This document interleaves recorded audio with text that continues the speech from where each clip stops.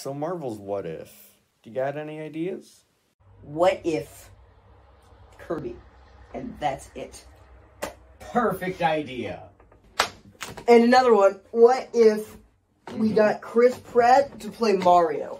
That is perfect. The hits just keep on coming.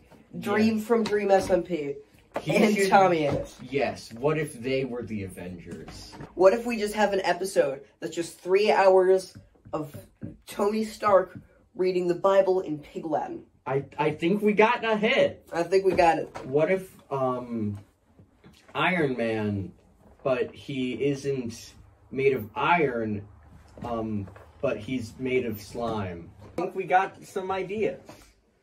I don't know if they're good.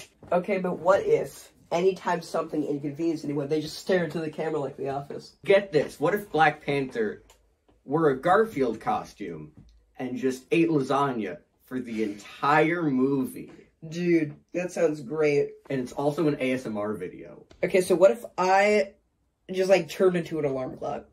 Brilliant. I love your thinking. Yep, yep, yep, yep, yep. You're a visionary. That's all the ideas I have left in me.